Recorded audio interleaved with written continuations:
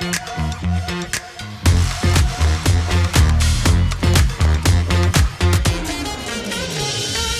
it is such a blessing, a pleasure, and a privilege uh, to be here with you today. I'm telling you, this is where I want to be in the country right now. We're launching into our first ever conference at our church. We've never done a conference.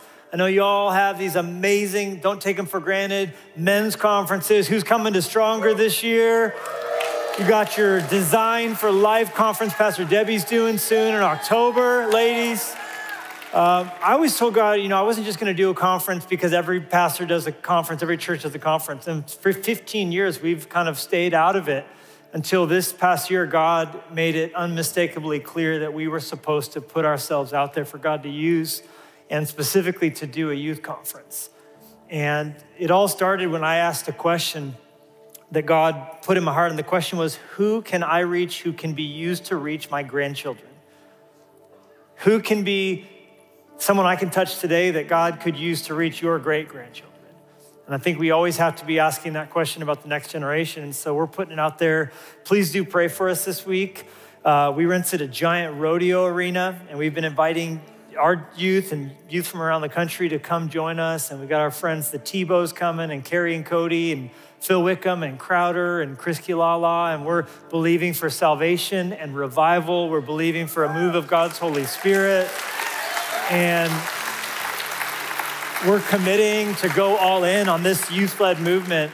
And we're going to be doing it every year. And what's different about it, maybe from other camps, uh, I know you guys do it, you guys have got it in your culture. I'm talking about other churches, is, is we're, we're encouraging students to actually stay in actual tents. And we got 30 acres for them to tent camp because there's something about being under the stars. Something about having bad cell reception in Jesus' name. Amen. Something about being dirty and being out in the elements and maybe getting rained on and then joining untold thousands in the heavens and those on earth worshiping and being lost in his presence. So please do pray for us. And I'll tell you, I think God sent me here to get me full of faith going into this conference week because what God is doing here at James River is unbelievable. What you guys are a part of, what your pastor and his family are leading you into. And the times that we've been here have just been so meaningful to me personally. And I'm really excited about what God's going to do today as we open up his word together. Amen. So, Father, we love you and we're grateful for your kindness, which is evident as we experience your presence together in these moments. And so now, as we turn to your word, we ask for that spirit of worship evident in giving, evident in praying, evident in praising to continue. Like that incense rising up to heaven for you to, to smell and to see and to be delighted to respond to. We ask your blessing for salvation, for continued healing, for you to move however you want to. In Jesus' name. In Jesus' name, we said, Amen. You may be seated. Uh, if you have a Bible, we're going to be in Psalm 128. We're going to together unpack some of the content that I've been in this season carrying that we've released in my new book, The Last Supper on the Moon. And I, I don't know about you, it just it blows me away to know that the first thing ever eaten on the moon was the communion meal. I don't know if you knew that, uh, but Buzz Aldrin brought with him bread and wine. And the first thing mankind in the moon's existence has ever eaten on its surface was the Lord's Supper. That's awesome. That's,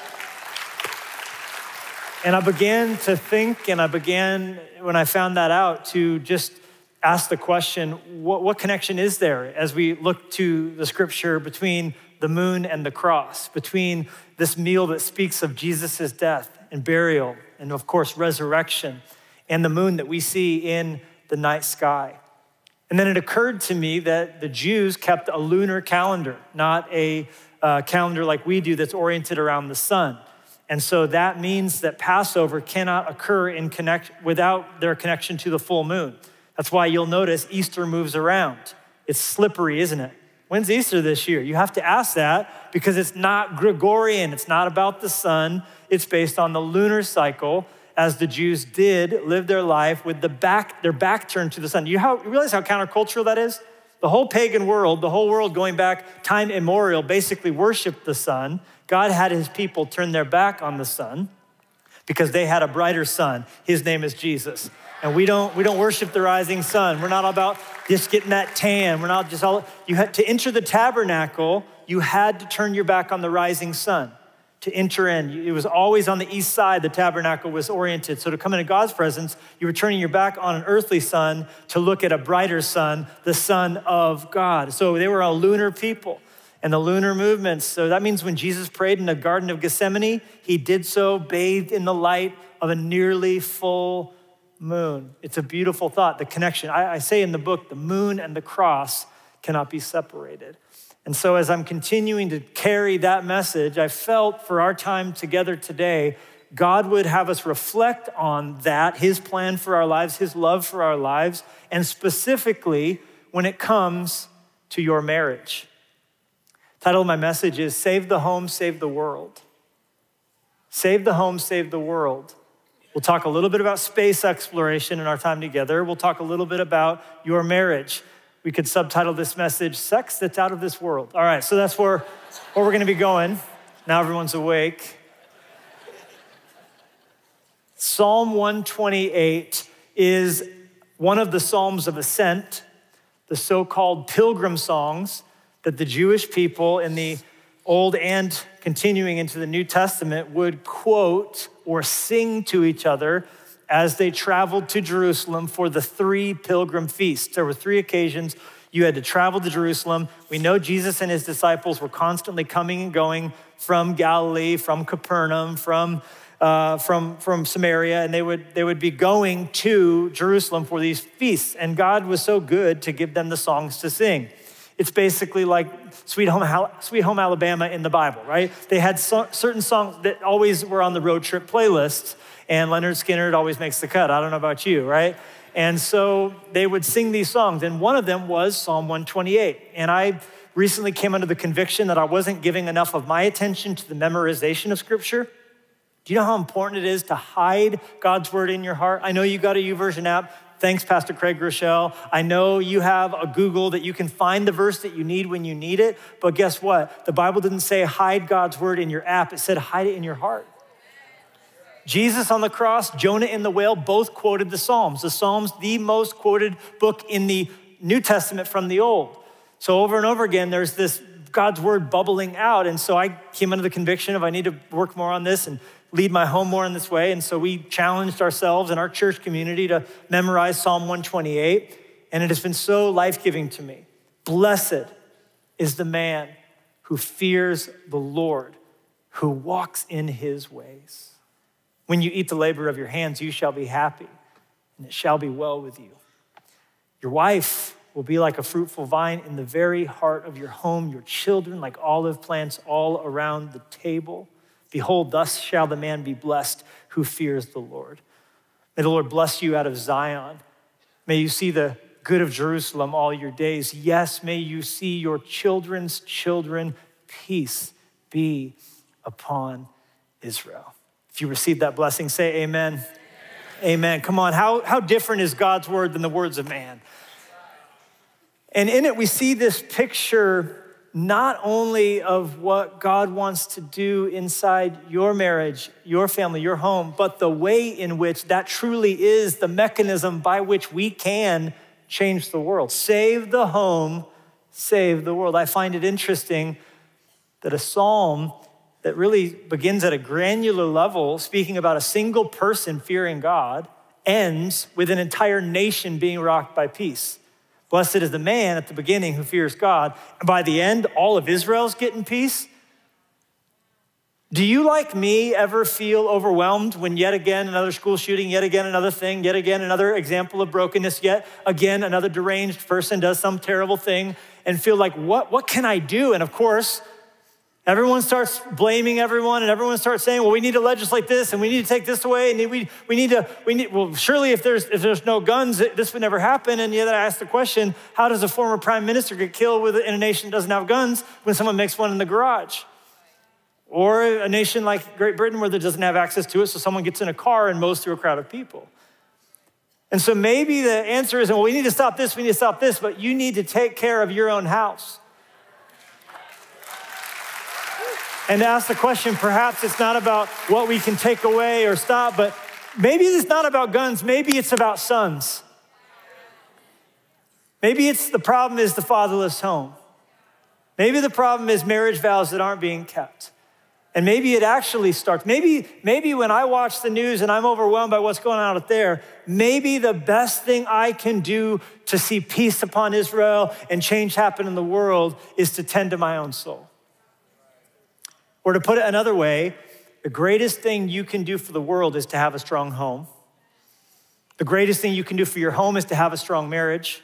And the greatest thing, the single greatest thing you can do for your marriage is to have a strong soul.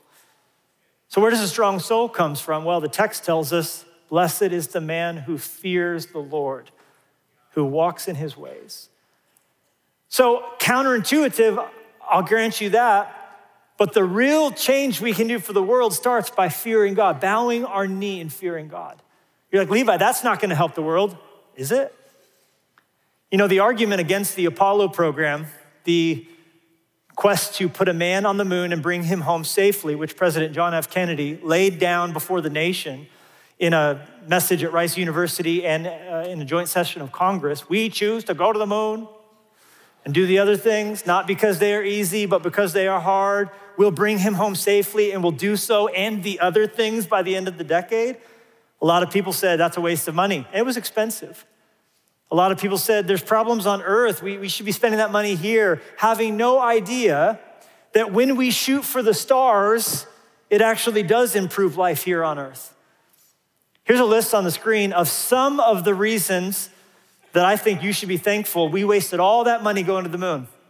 Lightweight foldable walkers, CAT and MRI scans, dialysis machines, the implantable heart defibrillator, Memory foam mattresses. Is anybody going to bear witness to the goodness of God at work in the world through memory foam mattresses? That was developed because on reentry, they needed to absorb some of the impact landing in the ocean of the astronaut in their seat. They invented it because they were going to the heavens, but it made life better here on this earth. Carbon monoxide detectors, and the ground was laid for GPS, satellite TV, microchips, and the dustbuster. Because crumbs float in space, they had to suck them up somehow. You see, it turns out, though it's counterintuitive, none of these things would exist on earth had we not lifted our eyes to the heavens. The point is, God wants you to live a life for His glory and His renown and His fame. The fear of God, which is the beginning of wisdom, the fear of the Lord, which is the beginning of knowledge. The secret of the Lord belongs to those who fear Him. Turns out, just focusing on how do we change the earth? How do we change the earth? How can I change my community? How can I change this over here? Doesn't do so good. But you lift your eyes up, you fear God. Now there's blessing in your soul because you're walking in His ways. You now serve your wife life. Your home becomes fruitful. Your children like olive plants. Now God can bless you out of Zion. Now you can begin to see Jerusalem change. Now you can see peace be upon Israel. Save the home, save the world. So instead of worrying about what's out there, I need to tend to my own. So, how is your marriage doing? I know if I follow you on Facebook, I got you got opinions about how things should be, but are you tending to your vine? How interesting is the collaboration between NASA and Napa? Not only because the fruit of the vine was brought to the moon, but because NASA companies literally do work for Napa. Napa Valley wineries, Napa Valley vineyards. Why? Because vines need to be cultivated. First C word I need you to jot down. How's your vine doing? How's your home doing? What's the heart of the house? A fruitful vine. The wife, the marriage, that union, that's the foundation that this the civilization is, is built on. This culture is built on. Look, no nation can long withstand the breakdown of the family. It is the fatherless home that is destroying so many. And so we ask the question well, how's my vine doing? How's my, my, my, my actual taking care of my, my own marriage doing?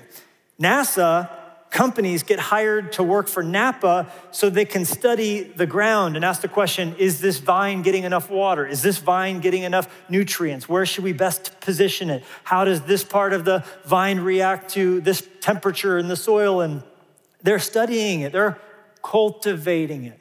A vine cannot produce fruit unless it's cultivated. So your marriage can't just be on autopilot from the moment you, you said, I do. You have to keep saying, I do.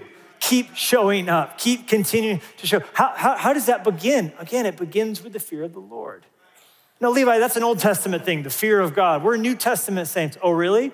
Ephesians chapter 5, the primary New Testament passage on how a marriage should work. How does it begin? Well, I'll tell you how it begins. Wives, submit to your husbands. Hold on, easy there, pal. It doesn't begin with wives, submit to your husbands. In fact, you will notice in the original Greek, that word submit is not even in that verse. It actually reads, wives to your own husbands, because the word submission is actually being pulled from a previous verse, which is, to one another you submit in the fear of God. To one another you submit. So, what is a godly marriage? It is mutual submission, two people bending their knee to the Lord Jesus Christ in fear of Him. They submit to one another. Wives, yours looks like this to your own husbands. Husbands, your submission looks like this love your wives. Are there unique, unique leadership responsibilities for each in a marriage? Absolutely. But submission is for the man as well as it is for the woman. So the fear of the Lord is the beginning of what that looks like for the vine to be healthy. Are you cultivating your vine by cultivating your soul and growing in your own relationship with Jesus?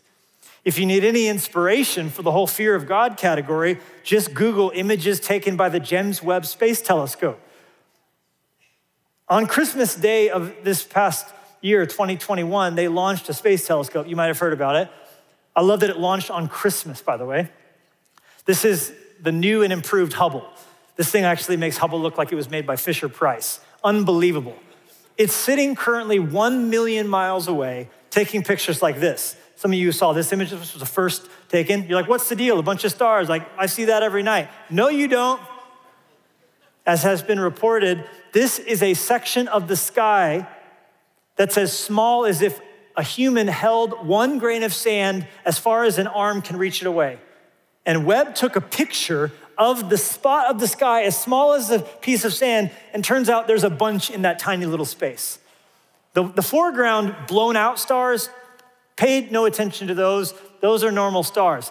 But beyond it are thousands of galaxies, each numbering between a million or a hundred billion stars like our own Milky Way galaxy, and all that is in a piece of the sky as small as a piece of sand. And God made that. And God loves you. And God's got plans for you more than the sand of the seashore. That's why we fear him. He's that vast, he's that powerful, and yet he stretched his arms out on the cross and died for you. And if you have that revelation of his power, but also his goodness, He's a God of both love and thunder. It will make you want to bow your knee to Him and bow your knee to Him with another person. That's the foundation for marriage.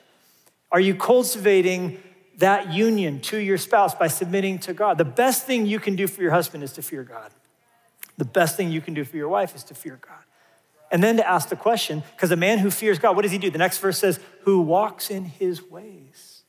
Blessed is the man who fears God and doesn't leave it there, but walks in his ways. And what are his ways? The, the, the, ways of humility, the ways of forgiveness, the ways of kindness, the ways of love does not seek its own. Love is patient, love is kind. God's ways are not our ways. So to ask your spouse, how can I serve you? How are you not getting the nutrients you need? How are you not getting the time you need? And, and, and to realize that every vine's different. So you can't base how you treat your vine off Instagram or base how you treat your vine off of Pinterest, but to actually ask your wife, here's some homework this week. Ask your wife the question, how am I not meeting your needs? And then shut up. and no matter what she says, don't you dare argue. And then hopefully she'll ask you that same question. What do you need more of? What do you need less of? Because vines need pruning too, don't they? Cultivation in, includes pruning. What needs to be removed? What needs to be reduced? What needs to be added?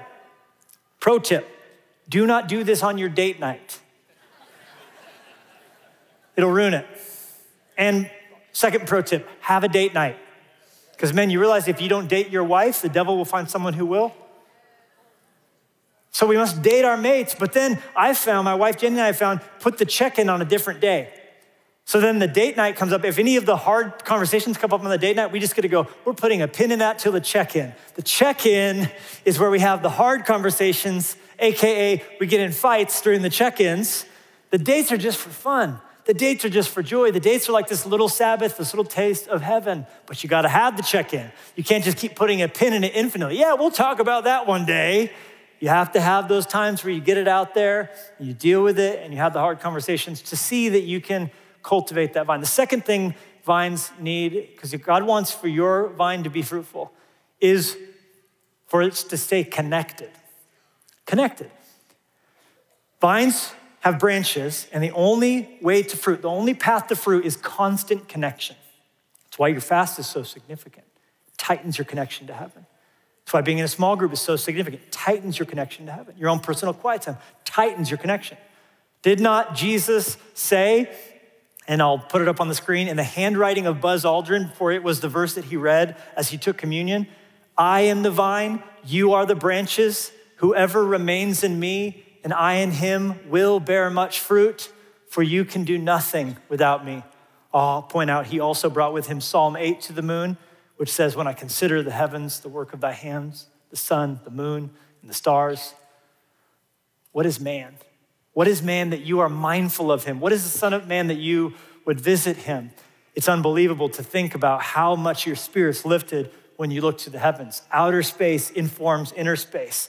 And I love that Buzz brought with him not only wine to take as a part of his communion meal, but also this verse, which tells us what vines need constant connection. So, in your relationship with Jesus, you have to fight to stay connected. And ironically, this is the best way to grow close to your spouse. I don't have to really try to stay near Jenny, and Jenny doesn't have to try to stay near me. Why? Draw a triangle in your notes. Do it right now. Draw a little triangle. Write your husband's name on the one of the lower points. Write your name on one of the lower points. And on the top point, write the name Jesus. Check it out. If you're moving closer to Jesus and he's moving closer to Jesus, you're moving closer to each other without even trying to. So you don't have to try and stay connected to each other, just stay connected to Jesus, which makes the selection of your spouse highly important, doesn't it? That you would want to marry someone whose sum total of their life's goals is to move closer to Jesus. Thus, we don't try and go meet someone who's got a big bank account or big biceps or a fast car or, or, or, whatever, and then try and squeeze them into following Jesus. That's a recipe for disaster. And I know the argument Levi, but he's hot, so is hell. That's not the point.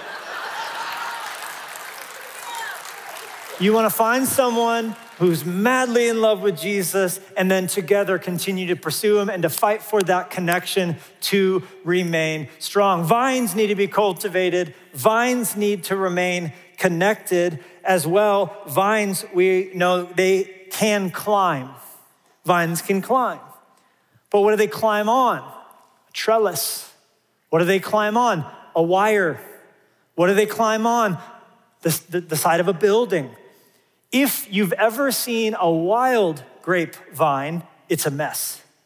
All that potential, all that growth, all just this terrible bush. It'll climb up something, climb up here, but if the, if the, if the growth isn't directed, it's worthless. It will never produce what it should if, it, if its growth isn't directed across something. So, what do we need for our vines? We need trellis. And I submit to you God's blessings out of Zion, the text says. Fear God, walk in his ways. Your wife's gonna be fruitful, your kids like olive plants. May God bless you out of Zion. Where do I know that word? Of course, it's shorthand throughout the Bible for Jerusalem and the mount where Jesus died on the cross, but it's also, according to Hebrews 12, a nickname for the church. As we come together this is the blessing out of Zion. This, this prayer, this faith, this expectation, this kind of life change. What an amazing thing it is to, you, to have for the guiding of your vine the local church. James River Church, for you to together say, hey, you're a row of that vineyard, I'm a row in that vineyard, and then we're gonna do this, and this is gonna guide us. This is gonna guide our faith. This is gonna inform our growth. We're not just aimless, we're not just doing our own thing, trying to follow Jesus. We have this church. We have come to Mount Zion, to an innumerable company of angels and saints. This is the guideline.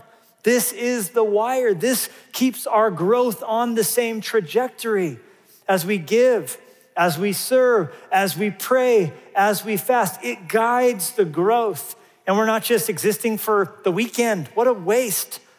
No, to get the jet ski out, to get Billy into college, to, to, because of soccer. Something's gonna guide your family. Something's gonna guide, you're gonna orient yourself around something. But to do so for the glory of God and the name of Jesus and his kingdom advancing in the world, that's blessing. That's strength. And I realize it's really great to get your kids into college. It's even better to get them into heaven.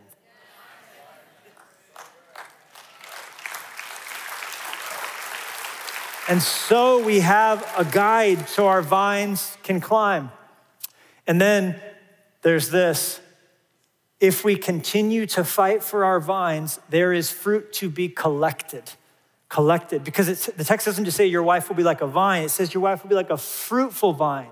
Out of that healthy soul, out of that growing, flourishing marriage and family, there will be fruit to collect. The fruit of passion, for sure. The fruit of growth in the gift of sex and how you enjoy it taking the pressure, married, newly married couples, taking the pressure off that wedding night, taking the pressure off that honeymoon, taking all expectations that you've seen in movies and all these things and deleting them and, and growing together in how you enjoy that gift of sex. My wife and I, we have been married 18 years and the sex has never been better. I can't wait to get home to her. My heart skips a beat every time I pull into our driveway. Why? Because I love her. And I, I, I just have, have, have, have, I've suffered with her. I've prayed and grieved with her. And I know a lot of people, you, you would look at your marriage and go, well, it's not like that. And, and you think you need to get into a new marriage because you don't, your heart doesn't go pitter patter anymore. No, you need to take care of your vine so it can be fruitful.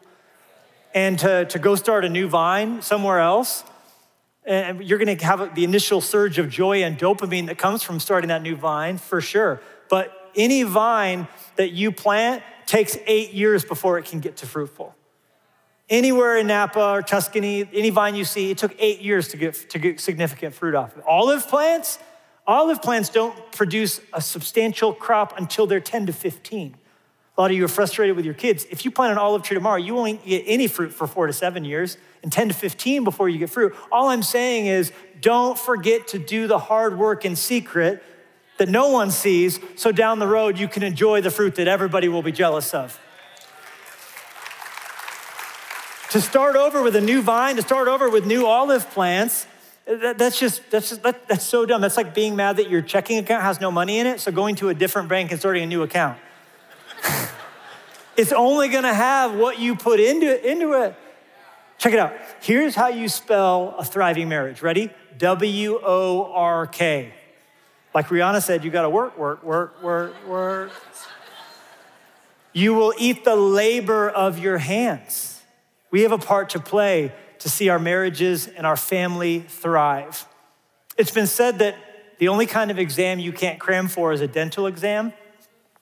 Stay up all night flossing the night before your dental appointment, right? I think parenting's kind of like that. You can't cram for your child turning 18.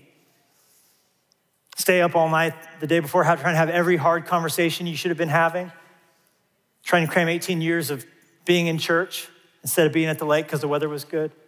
All the things you will wish you had done when your child's about to turn 18. The best time to plant a tree is 10 years ago but the second best time is right now. I say something new starts today. I say something in you breaks, and you say, I'm gonna fear God, walk in his ways, love and serve my wife, love and serve my husband, be a devoted tender of little olive plants around my table, and believe that's gonna spill out and break out, that that's what the world needs most. For the kids in your neighborhood who are part of broken homes to want to have a seat at your table for a meal because they sense something different going on in the culture of your house. You can't spell cultivate without the first couple letters of culture. What's the culture of your marriage? You should be asking this question. It should be informing. That's you don't have to do it in isolation either. Being a part of a church like this, it gives you amazing trellis for your little vines to grow on. And there will be fruit to be collected fruit of friendship, fruit of intimacy, fruit of passion. It will also, as well, continue to pay dividends long after you are dead. For the text says, May you see your children's children. And that's awesome. But I believe what you have to hold on to in faith, you won't actually get to see with your eye until eternity, is the continued change generation after generation after generation after you've been dead. The text says our kids are, like olive plants, right? I find it interesting that if you look up the Smithsonian website, it will tell you that the oldest tree that's living on the planet today is an olive tree. Here's a photo of it. It's called the, the Big One. That's its nickname, the Big One. It is estimated to be as many as five or six, perhaps, thousand years old. Older than some of the redwoods that we know are really old, older than the Methuselah tree, the big one. Do you know where this tree exists, where it is today? In Bethlehem. Come on, somebody, that's just pretty. That means that when King David was singing Psalm 23, that tree heard.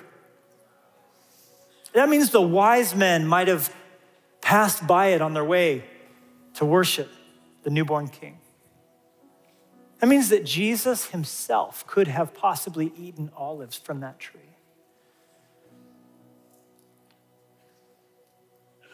I believe as we do what God's called us to do, it's not sexy. It's not going to be some big, huge, awesome thing. No one's going to make a movie out of. He was faithful to his wife. He kept his covenant. He would not harm his soul with an adulterous relationship. Pornography had no place in his spirit. He was there for his kids. He took his daughter on little dates and little outings. He was intentional about the rites of passage. He didn't let culture tell his son who he was. He spoke into his eyes, Now you are a man. When we do these things, not only can we believe for the fruit that we'll get to taste, but our kids will become like olive plants, and our sons' sons, and our daughters' daughters, and our daughters' daughters' daughters' sons. Jesus is faithful to keep his covenant for a thousand generations. This is how we save the world. We lead our families into the presence of God. We walk with Jesus ourselves, and we believe for that impact to ring out like the Bethlehem olive tree, the big one. And anytime we get afraid, anytime we doubt that it's working, anytime we're, we're, we're ever overthinking it, which is going to be a lot, all we have to do to remember that God's promises are going to be kept in our lives and beyond is go out in the night sky and look up.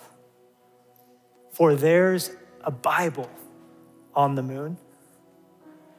Metaphorically, for sure, but also actually, because of Dave Scott, who right here you see pictured in Apollo 15. That's Dave Scott. That's the first lunar rover that was ever brought to the moon.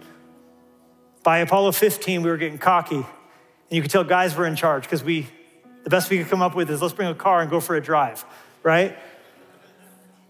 But moments before Dave Scott got back into the lunar lander to leave, to go back to his ship, to come back home, his job was to park the lunar lander far enough away where it could film the departing spacecraft. So he did. But before he re entered the spaceship, he took out of his personal collection of things he was allowed to bring to the moon a small red Bible. And he opened it up and he put it on the dashboard of the lunar rover. And in his words, he said, Some, somehow, some way, someone may come to the moon and see this. And I want them to know who came here by seeing this Bible. And then he got into the ship and took off. Friends, the next time you look up at the night sky, don't just remember that, that there was someone who took communion there one day. There's a Bible on the moon. I, there's a Bible on the moon. And I just love it so much because God's word, Psalm 72 7, says, May the righteous flourish during his reign, and until the moon is no more, may there be peace. I'm daring you to believe that spilling on into the future through your family, through your legacy, through the generational impact, God's kingdom is not going to be stopped until the moon's no more. So if you if you see a moon in the night sky, that, that, that means that God's promise to you is still still in effect. Thank you so much for joining James River Church on our YouTube channel. Our prayer is that you were encouraged and your faith was strengthened today. And we want to let you know that we'd love for you to be a part of our online family. As well, we'd love if you subscribe to our YouTube channel and press the bell for notifications. You'll be so glad you did because we're always putting out great sermons, new worship content, and it helps you know when we go live for our weekly services. We hope you have an amazing day and thank you again for watching. God bless.